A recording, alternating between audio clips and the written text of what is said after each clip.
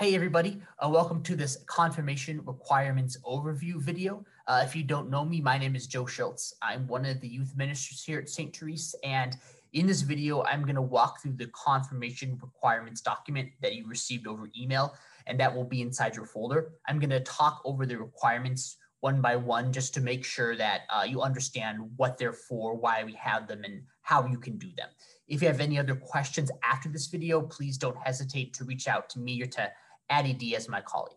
As kind of a, a quick overview or preface, our main purpose in these requirements, in the way we've set up this program, is to help give you, the confirmands, sort of a, an example or a structure or template of what it's like to live life as an adult Catholic um, you know, after your confirmation year this year, um, you're probably not going to be required to go to classes every week uh, the way you maybe were in elementary and middle school. You're going to have a lot more freedom and independence in how you choose to live your faith. So while you're in this program this year, rather than making you go to, you know, a meeting every week, we want to give you more time to help you explore different ways that adult Catholics live their faith and find out what systems of engagement, what kind of habits, or what kind of opportunities really resonate with you um, when you are an adult Catholic, when you're free of faith formation and Catholic school and all those things, it'll be up to you to find ways to keep engaging in your faith. And so we want to give you the tools and some tips and some strategies for how you can do that well so that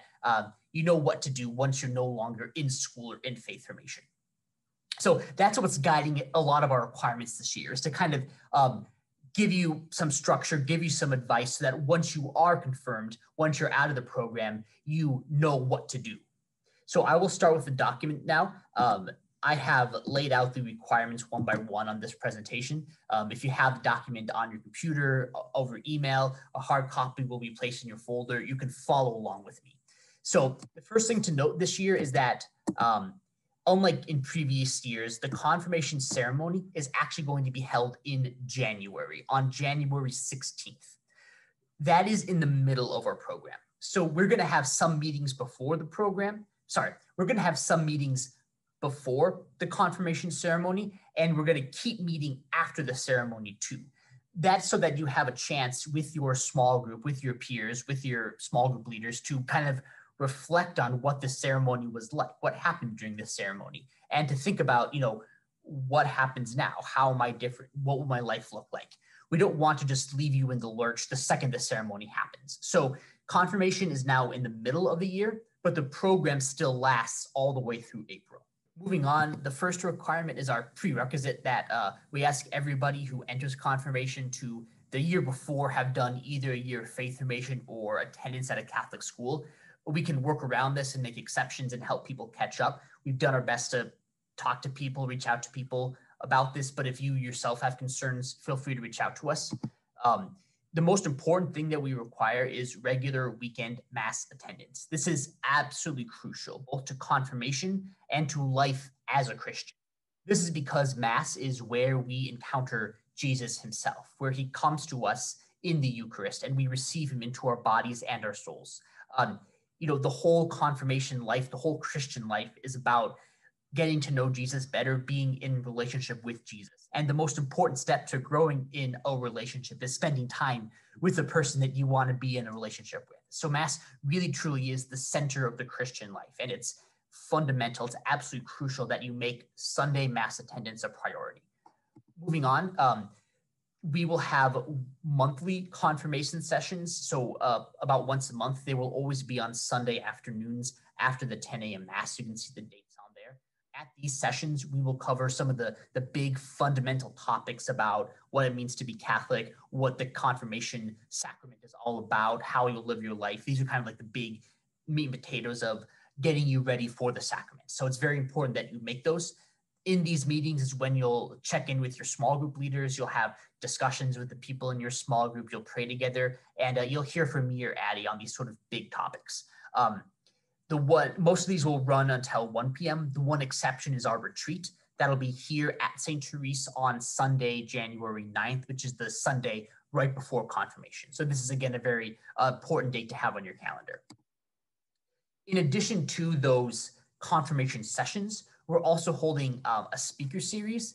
These will run on Sunday evenings. They're going to be about seven of them. And um, these speaker series where we have outside speakers come and talk on um, topics that are kind of relevant to Christian life, Christian thought, Christian morality, that sort of thing. They're not, these are more kind of like side topics or, or fun topics or hot topics or things more relevant to your life. So these speaker series are, um, so whereas the confirmation sessions are more like the, the absolute fundamentals, these are kind of almost like extracurricular things to learn more about different avenues of our faith and how you can live your life. So uh, we require you to come to five out of seven of these. So you'll have some freedom in choosing which ones sound interesting, which ones work for you. Um, importantly, is that in October, on uh, the 16th of October, we're having Archdiocesan Youth Day, where we're going to go to a big church in this, where we're going to go to another church. We'll have a huge event with a bunch of, you know, several hundred teens from around the Twin Cities. We'll have mass together. We'll have um, talks and prayer. We'll get to spend time with the Archbishop. So this is a really incredible experience, and this will count as two of the five required sessions if you join us for uh, AYD on October 16th. So we'll have more details about that, but we really encourage you to go to this because uh, it'll be incredible. Uh, moving on, um, if you were not baptized at St. Therese, please contact the parish you were baptized and have them send us a copy of your baptismal certificate. This is a pretty routine request. Just call them, tell them this is what you need. They'll know what to do. Um, they can send this certificate to the church or directly to me at the Church of St. Therese. Um, this is required if you were not baptized at St. Therese. If you were baptized at St. Therese, you do not have to do anything. I will take care of tracking down your confirmation, sorry, your baptism records. Um, what's important though is that if you were not baptized here, we need a new copy of your certificate, even if you have given us one before. So if, for example, you did first communion here and you sent us, you had the church send us a certificate then, we still need a new certificate for confirmation. So please contact your church again. That's a little inconvenient, but this is a requirement of the archdiocese that we receive a new copy for every major sacrament. So um, again, if you were not baptized here, please have the certificate sent um, as soon as possible. Let me know if you have any questions or challenges with that. So some of the main things we'll be doing this year that you, the confirmands, will be doing um, is building a habit of prayer. The way we're going to do this is, is you know, one of the hardest things about prayer is just to get started and to keep it going. Prayer is kind of like exercise where um, you know you need to do it a lot to get good at it. You need to put in the time with god in order to grow close to him. And that can often involve a routine and you know doing it at the same time doing it no matter what doing it even when it doesn't feel great even when you're not really in the mood um, that kind of consistency that regular turning to god is a crucial part of the Christian life, and it's one that eventually is going to pay off. And so we're here to help you kind of build those habits and give you some tips and some structure. So every month when you meet with your small group, you guys are going to create a monthly prayer goal. Um, and that'll be something very specific. Like, for example, you might agree to spend five minutes every day reading the Bible, or say three rosaries every week, or, or whatever. Your groups will come up with your own ideas. But um, every week you'll have, sorry, every month you'll have a goal. Um, we have given you these journals. In these prayer journals, you can record your progress on that goal. Um, some people find it helpful to like actually journal to God. So like to write in their, you know, describe in their journals how prayer went, write out their thoughts to God.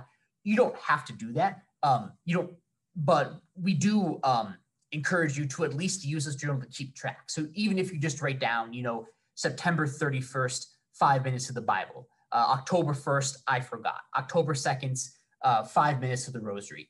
Even those kind of like very like quick and dirty, this is what I did.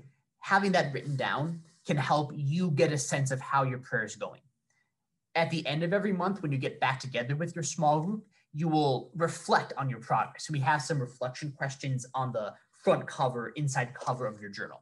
And so before going to small group meetings, look those questions over, write down some answers, just so that when you come to share, you kind of you know what you're going to say.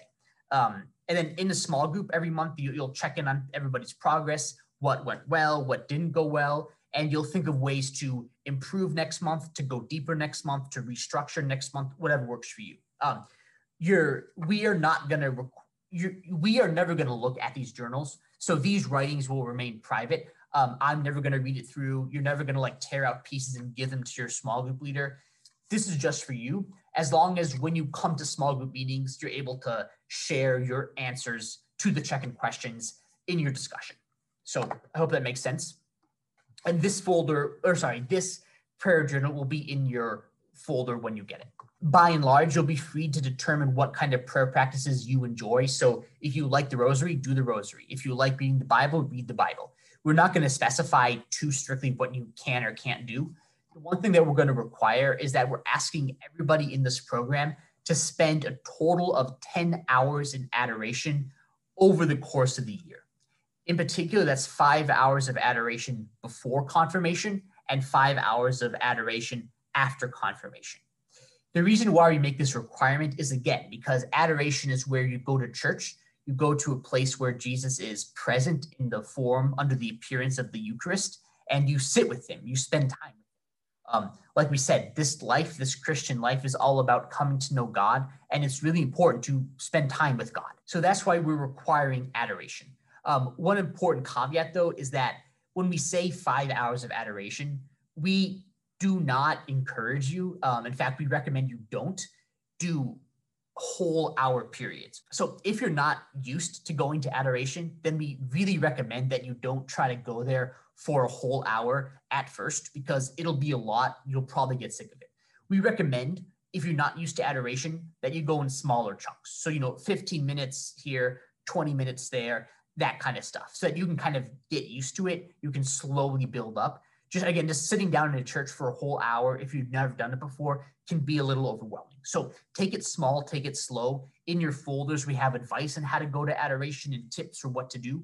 So take a look at that, build, you know, small amounts that by the time you go to confirmation, all of your adoration hours should total five hours. But again, it doesn't have to be five one hour periods. It can be 10 half hour periods or anything, anything like that. Um, so moving on, um, we ask that you engage in one church ministry throughout the year. So instead of doing service hours, um, this is something that we did in the past, and we're no longer doing hours in the sense that you have to have 20 hours and then you're done, because that is not how adults do service in the church. You know, me and Addie, we're both involved in the church, but we don't fill out a time log and give it to Father Andre every year. Instead, we and other adults, you know, we find one ministry or two ministries that we really like, things that we enjoy doing, things that we're passionate about, and we commit to doing those on a regular basis. You know, that's how adults do service in the church. And so we want to encourage you to think of service in that way, not as like, I must meet this goal of hours, then I'm done, but instead, um, you know, I found something, I found a way of being a part of the church that I really like. So that's why we want you to find one ministry that you enjoy. Um, that can be a service ministry like going to feed my starving children. Um, it can be something like a Bible study or youth group or helping out at Mass, like as a server. These are all ways to engage in the church. So we ask that you pick one ministry and that you engage with it substantially throughout the year. So that doesn't mean you have to go to every single session. It's like, let's say that you pick a Bible study, you know, we're not going to come down on you if you have to miss a Bible study session. But just make it part, commit to it, right? Make it part of your your weekly, monthly routine. Do it on a regular basis. Um, and in your monthly check-ins with your small group, you'll share your progress. So again, it's not that you have to do a certain amount of hours or you have to go to every single meeting or you're out of the program, but just commit on a regular basis to doing a ministry. We have a list of suggestions in your folder those suggestions are not exhaustive. So you can do things not listed on the suggestion sheet. The suggestions are suggestions to get your mind going, but if you have other ideas, other things you like, other things you're passionate about, or even things that you want to start, let us know. Um, from here on out, these are uh, pretty straightforward assignments. You'll choose a sponsor. That should be an adult who's a practicing Catholic who has already been confirmed. Um, in your folder, you'll have a list of the requirements and you'll have a quick little form for them to fill out and send directly to us. Um, you'll choose a confirmation saint and fill out a form on that. We'll talk about saints more in our sessions.